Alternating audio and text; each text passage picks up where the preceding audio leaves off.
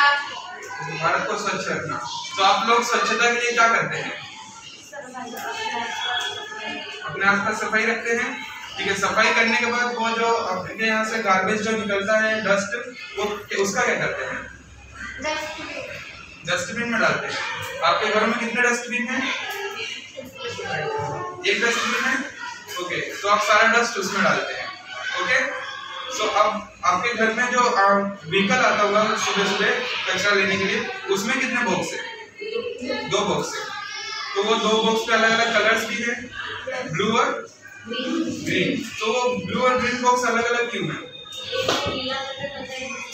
एक में गीला कचरा डालता है, एक में सूखा। पर हम घरों में कैसा कचरा इकट्ठा करते हैं? सब मिक्स तो आप लोगों को क्या करना है? अपने घर पे इंफॉर्मेशन देनी है कि आप जो भी कचरा निकलता है अपने घर से उसमें गीला कचरा अलग रखेंगे और सूखा कचरा अलग रखेंगे। गीला कचरा कौन से बॉक्स में डालेंगे? ब्लू में। और गीला कचरा? ग्रीन बॉक्स में। अब कौन बताएगा कि सूखा कचरा होता क्या है?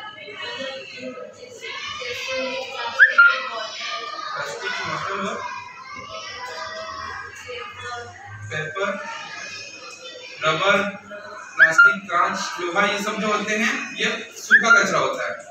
और इनको अपने हम अलग क्यों रखेंगे किसी को पता है कि इन दोनों को अलग अलग क्यों किया जाता है? रिसाइकल सूखा कचरा क्या होता है? रिसाइकल होने के लिए जाता है। और जो गीला कचरा होता है तो गीला कचरा क्या होता है? जैसे जो जिसको कंपोस्ट किया जा सके जो सड़ के कंपोस्ट बन, बनाया जा सके जिससे। जैसे कि अपने किचन से जो ज़्यादातर निकलता है फ्रूट्स के छिलके सब्जियों के छिलके चाय पत्ती वगैरह ये सब गीला कचरा होता है। और जो सूखी पत्तियाँ होती है वो सूखी पत्तियाँ गीला कचरा होती है सूखा कचरा? कौन बताएगा सूखा कचरा। आप? सूखा कचरा। सूखा कचरा वो होता है जो रिसाइकल हो सके। क्या पत्तियाँ को पत्तियों को रिसाइकल किया जा सकता है? नहीं। बट वो सड़ सकती है टाइम के साथ तो वो गीला कचरे में आएँगे ओके तो गीला कचरा अलग रखना कौन से बॉक्स में? गीला कचरा ग्रीन बॉक्स में। और सूखा कचरा? ब्लू बॉक्स में। तो अब आपको पता है ना सूखा और गीला अलग अलग क्यों रखना है? तो स्वच्छ भारत मिशन क्या है? कब स्टार्ट ओके तो कंपोस्टिंग अभी मैंने बताया, कौन से कचरे से होती है? सूखा तो रिसाइकल होता है। कंपोस्ट के लिए कौन सा कचरा जाता है? गीला कचरा। तो गीला कचरा फेंकने की बजाय, हम लोग घर पे ही कंपोस्ट उसको कैसे कर सकते हैं? आप में से किसी को पता है? नो ठीक है तो अब मैं आपको बताता हूँ, आप लोग याद रखेगा, मैं नेक्स्ट टाइम आऊँगा तो आपसे क्वेश्चंस करना ओके सबसे पहले हमको क्या लेना है? एक मटका लेना है। मटका या कोई भी प्लास्टिक का बॉक्स नहीं चलेगा। तो उस मटके के नीचे कम से कम कितने छेद करने पाँच से छह। ओके, क्या लेना है सबसे पहले?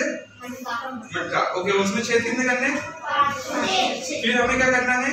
उसमें सबसे पहले एक लेयर बनानी है मिट्टी की। जो भी हमारे आसपास मिट्टी रहती है, उसके अंदर मिट्टी डाल देना है। उसके बाद जो हमारे घर से गीला कचरा निकलता है, गीला कचरा क्या होता है? किचन का वेस्ट सब्जियों के छिलके, फलों के छिलके जब जो वेस्ट निकलता है, इसको हमको उस मिट्टी के ऊपर डाल देना है। ओके फिर उसके ऊपर क्या डालना है? उसके ऊपर जो भी अगर गोबर चाहे तो हम गोबर डाल सकते हैं। गोबर डाल दीजिएगा, उसके बाद ऊपर से पानी डाल के उसको मिला दीजिएगा, ठीक है? उसके बाद क्या नेक्स्ट स्टेप क्या होगा? यही यही स्टेप हमको वापस फॉलो करने हैं। सबसे पहले क्या स्टेप बताया मैंने? उसके बाद? उसके बाद?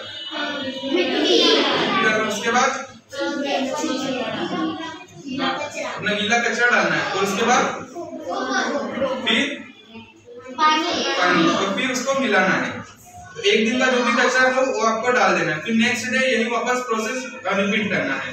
और उसके बाद चार से पाँच दिन में इसको मिलाते रहना है। पानी डालना है और मिलाते रहना और मटके को धूप में रखना है। ठीक है? तो कंपोस्ट कितने दिन में रेडी होगा? लगभग साठ से सितर दिनों में।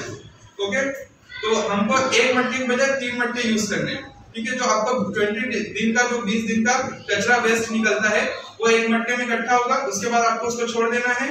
नेक्स्ट मट्टी में इकट्ठा करना है फिर नेक्स्ट मट्टी में इकट्ठा करना है। साठ दिन बाद जो फ़र्स्ट वाली मट्टी रहती है अपनी उसमें कंपोस्ट तैयार हो जाता है ओके तो फिर उस कंपोस्ट का यूज़ कहाँ कर सकते हैं हम लोग? कहाँ पे? सो जब थोड़ा लाउड बोलेंगे? पेड़ पौधों में, अपने घरों में, आसपास क्यारी हो, गमले हो, या फिर खेतों में इनका यूज़ कर सकते हैं। तो क्या तो बीस दिन बाद आप वो मट्टा रेडी हो जाएगा, आप उसको खाली करके वापस वही प्रोसेस रिपीट कर सकते हैं। इससे फ़ायदा क्या होगा? एक तो कंपोस्टिंग अच्छी खाद मिलेगी, और दूसरा, हमारे घर से कचरा नहीं निकलेगा। तो कचरा नहीं निकलेगा तो साफ़ सफ़ाई ऑलरेडी होने लगेगी। ओके? ठीक है तो आप लोग ध्यान रखना आपसे दो डस्टबिन का यूज़ करना, घर पे बताना आप सब। ब्लू बॉक्स अलग ग्रीन बॉक्स अलग ब्लू में कौन सा कचरा? सूखा कचरा। ब्लू में सूखा कचरा। और ग्रीन में ओके हम ये शपथ लेते हैं ये शपथ लेते हैं कि हम कि हम गीला और सूखा कचरा गीला और सूखा कचरा ब्लू और ग्रीन बॉक्स में ही डालेंगे। ब्लू और ग्रीन बॉक्स में डालेंगे। आसपास सफ़ाई रखेंगे आसपास सफ़ाई रखेंगे और जो भी गंदगी करेगा और जो भी गंदगी करेगा उसको रोकेंगे उसको रोकेंगे। Thank you